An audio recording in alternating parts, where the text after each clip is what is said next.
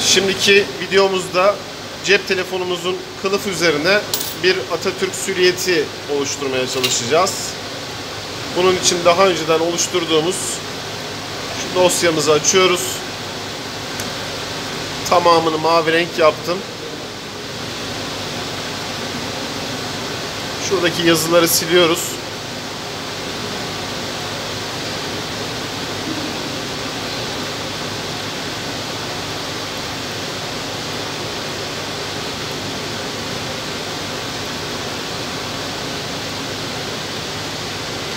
Şimdi cep telefonumuzun kabının şuradaki genişliği 60 mm geliyor. Şu delikli olan kısma kadar olan kısmı da 80 mm geliyor. Bunun için bir dikdörtgen çiziyoruz. Oluşturduğum dikdörtgeni seçip genişliğinin 60 mm şuradaki mesafenin de 80 mm olmasını sağlıyorum. Sonra da Atatürk süriyetimizi seçip kenarından küçültüp içerisine sığacak bir hale getirmem lazım.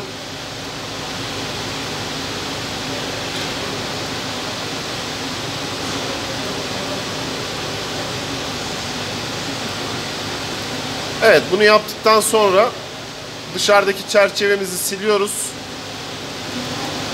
Ve kabın üzerinde tarama modunda 300 hızında ve gücün %20'sini kullanarak işlem yap diyoruz. Ardından da lazer makinemize doğru yöneliyoruz.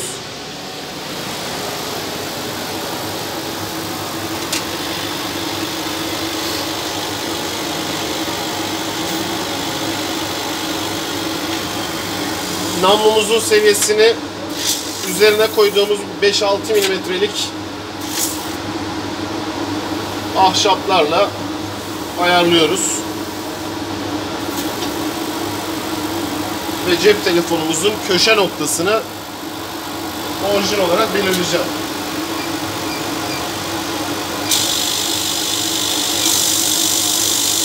Evet bu noktayı orijin yapıyorum.